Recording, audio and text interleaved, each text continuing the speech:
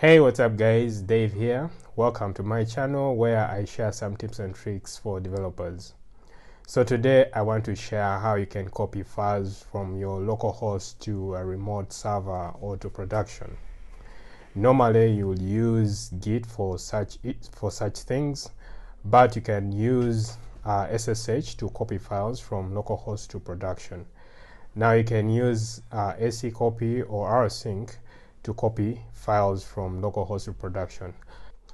Now I'm going to demo all this right now. Okay, let's dive right into it. Alright, so I'll start with uh, AC copy to copy some files, actually to copy my app from uh, localhost to uh, a remote server here. Okay, so the syntax is uh, AC copy dash R for recursive copying since we are going to be copying directories.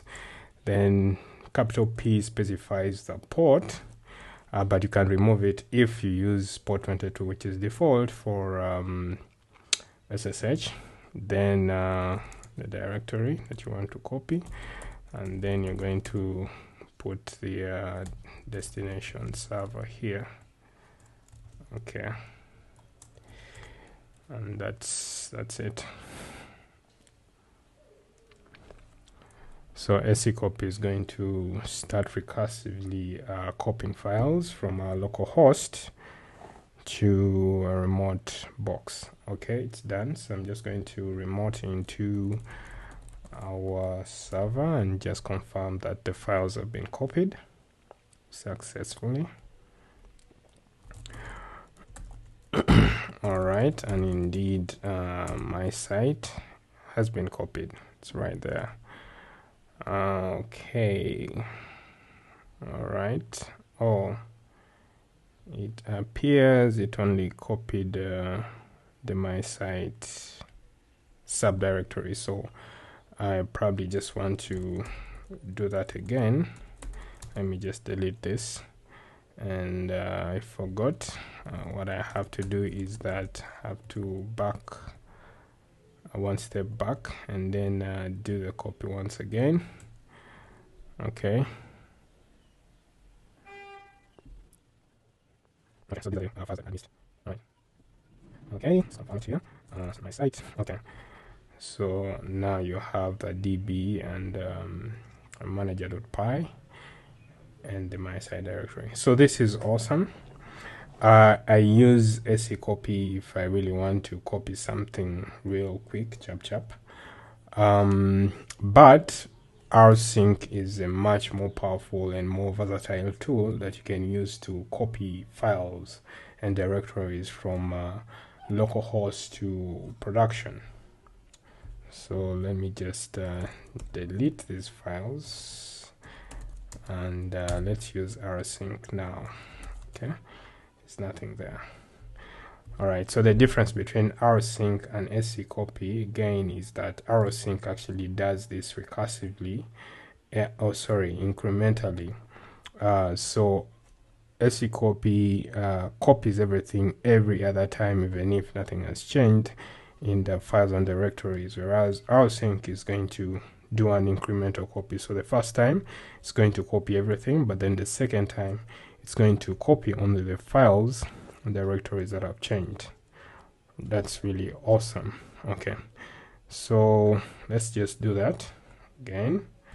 Using rsync pave i'm just going to explain the options in a while. Okay so um, the capital p here says that uh, uh, it gives you a progress bar. So you can see uh, uh, how far your copying process has gone. Uh, and then uh, A here is for archive, which allows for copying files recursively and preserves symbolic links, file permissions, user ownerships, and timestamps. Then the V is for verbosity, which gives you a bit of more detailed information onto the terminal. And then the E specifies um, allows you to choose an alternative remote shell program. Okay, so I use it to specify SSH uh, dash P for port and 22 now if uh, your port is 22 this is unnecessary. You can eliminate that portion uh, altogether. But uh, if your port is different then it comes in really handy. All right so let's run the, the, the command and watch as our files are copied to uh, the remote box. Okay? Right. Uh, there you go. So everything has been copied once again my site. Okay. So I'm just going to show you that if uh, we change something or we add let's actually add just a, a file. Maybe test file here to our directory and then run rsync again uh, you notice that it's just going to uh, copy only that file that has been added.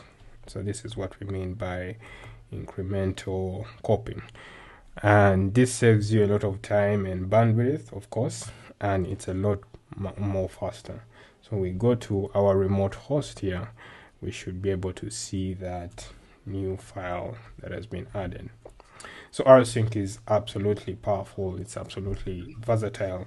Uh, you can even uh, do uh, you can even exclude certain folders while copying using the dash exclude option and you can also do selective copying with uh, the dash include from option you can even do a dry run dry run which means that you can just see how the command runs without it doing anything and you can also use it to delete large number of files using the delete option. So basically just sync an empty directory to a directory with a lot of files and it's much faster than using uh, RM.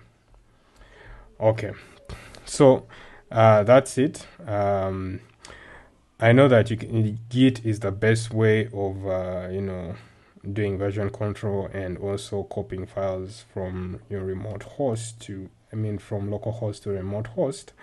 Uh, but if you really want to copy something real fast without uh, Git, or if you have a huge volume of data that you want to copy uh, from one box to another, or if you actually want to do backups, routine backups, you can just set up a cron job using rsync, and it's just going to do incremental uh, copies of your files and directories all right um, this has been how to use SECopy and rsync and how they differ in copying files and directories from your local host to uh, to uh, a remote box.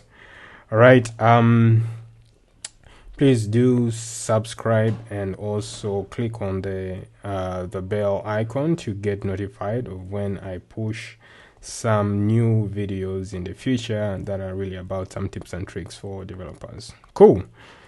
See you guys in the next one.